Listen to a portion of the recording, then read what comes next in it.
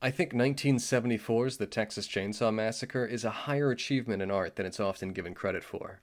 It opens with a beautiful shot of two newly unearthed and congealing corpses that have been wired together into a monument of death and erosion sitting on top of a gravestone. This is how the film says hello, and to my mind, this is the movie's mission statement. You're about to see an hour and a half of art that's been fashioned together out of rot and decay that's been hiding just under the surface. Anger and hate unyieldingly permeate the entirety of this film. It sticks with you. It also stuck with Ridley Scott, as he said this movie was more influential in making Alien than any B sci fi movie was. So I guess that's one part Texas Chainsaw Massacre, one part Planet of the Vampires. Let's look at this shot for a minute. This is probably the slickest shot in the movie, but I think it's for the best because a lot of the camera work strength here is how dispassionately observational it is. However, this shot doesn't do much to damage that, and it's really cool. The house gets bigger and bigger until it's large enough to swallow the Pam character whole.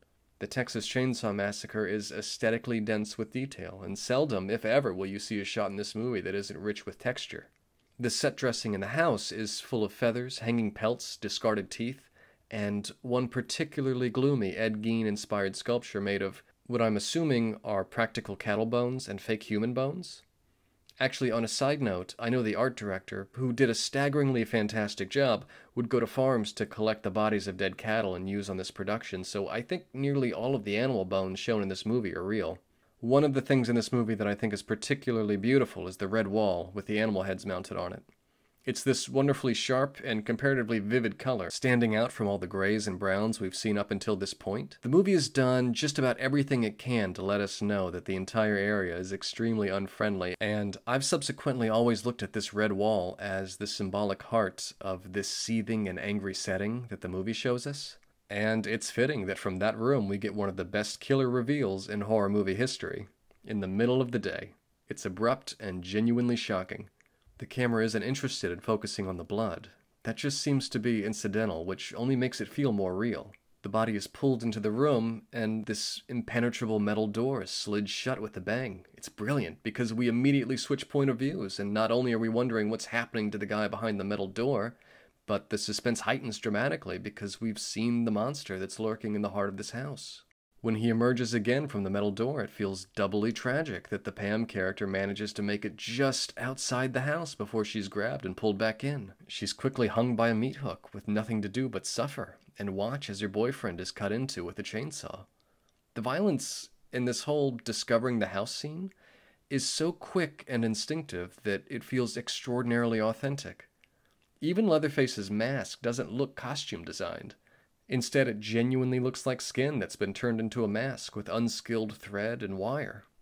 Speaking of authenticity, the Texas Chainsaw Massacre was completely shot on locations, which, in instances like the inside of the world's worst gas station and barbecue, makes it very difficult to discern what was set dressing and what just happened to be there. The rust and grime that covers everything isn't just its own character, it punctuates and amplifies that inconsolable hate that runs through the entire movie.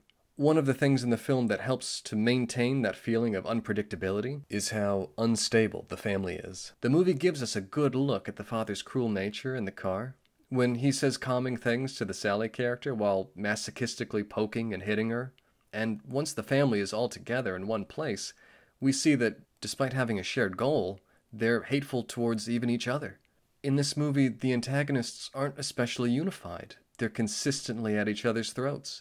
The bickering and then the weird childlike howling makes the dinner table, which is usually a more civilized place in a house, feel like the most chaotic and irrational. Also, I don't think it's an obscure fact, but but it's always worth mentioning that the effect wasn't working right. So the scene where they cut the Sally character's finger and then give it to the grandpa to suck the blood from, they really did actually cut her finger. Anyway, I've rarely, if ever, have seen a scene in a film that captures frenzied horror like the dinner scene does. It's a spectacular crescendo in a movie that feels genuinely assaulting. This movie corners you constantly, and in its short runtime, has so many things to show you in the moment to moment that force you to react. And forcing you to react is what all great art does. It is sincerely mean spirited and genuinely penetrating. Although I've seen plenty of movies that are much more extreme in their violence, the Texas Chainsaw Massacre remains one of the most beautifully repugnant and visceral films I have ever seen. If you've seen it, then you already know what your reaction to it was. I've seen a lot of people who love it and a lot of people who hate it, but very few who are indifferent towards it. The reaction is seldomly anything but severe. Thank you so much for watching. Thumbs up if you liked the video, thumbs down if you didn't, subscribe for more horror movie content, and until next time.